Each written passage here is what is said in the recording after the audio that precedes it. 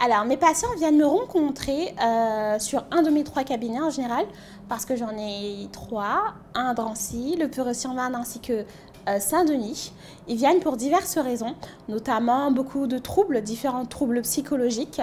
euh, aussi beaucoup de phobies, notamment quand ils rencontrent au cours de leur vie différents profils psychologiques qui peuvent être dérangeants, notamment la dépendance affective ou bien même les pervers narcissiques. Ma mission, elle est très simple les accompagner de manière à surmonter cette période, mieux comprendre euh, la situation dans laquelle ils sont avec plus de recul